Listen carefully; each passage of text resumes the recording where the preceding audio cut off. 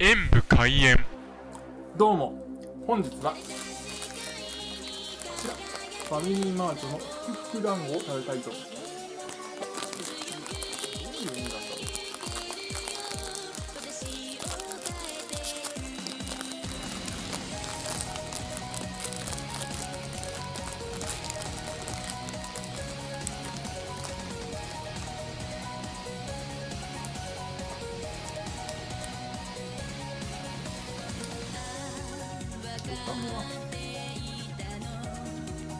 ああもう中身出ちゃってますね。まあいいか。ではいただきます。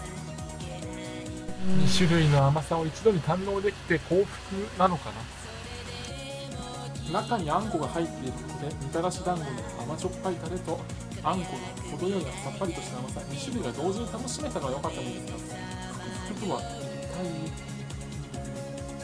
どなたか知ってる方いたらコメント欄で教えてください。ご視聴ありがとうございました。コメントしていただけると嬉しいです。どのようになったかな？パソコンおよびスマートフォンのアプリの方はクリックをお願いします。